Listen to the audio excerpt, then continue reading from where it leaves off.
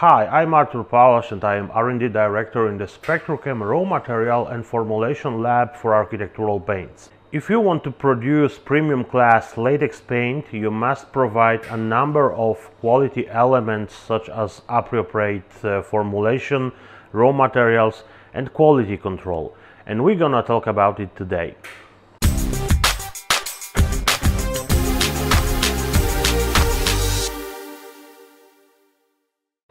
I'm going to show you what basic and simple tests according to ASTM international standards you can do in your lab for batch quality control, batch after batch, gallon after gallon.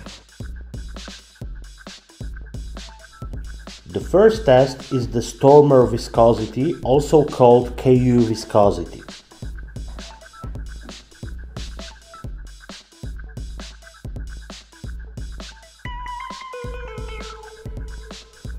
Another test is the Hegman grind test.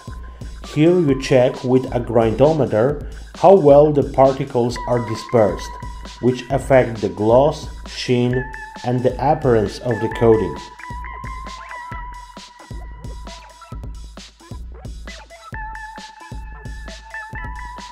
To check if the density is correct, determine the weight per gallon using a cup called a pycnometer.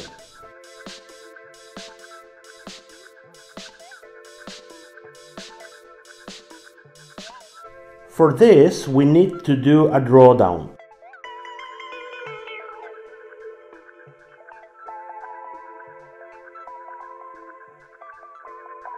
Best practice is to use an automatic film applicator to ensure a uniform application speed.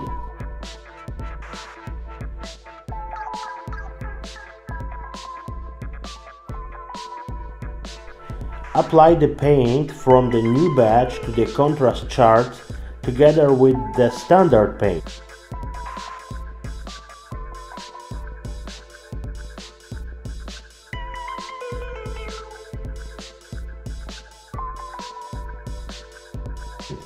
Drawdown is run at 450 square feet per gallon.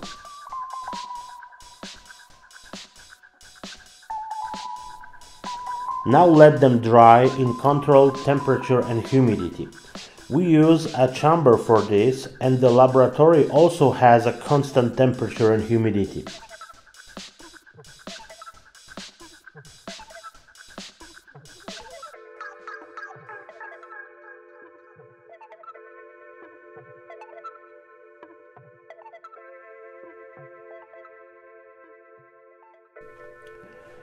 After drying, we measure the color with a spectrophotometer. In this case, we have white paint, so we measure the whiteness and yellowness index in uh, relation to the standard paint and gloss with a gloss meter.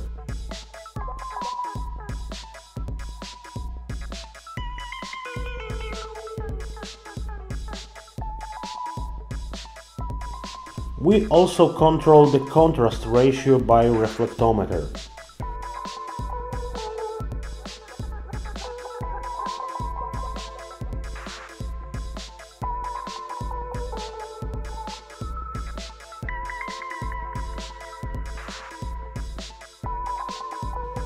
Good job! You already have a basic control chart and ready new batch of latex paint.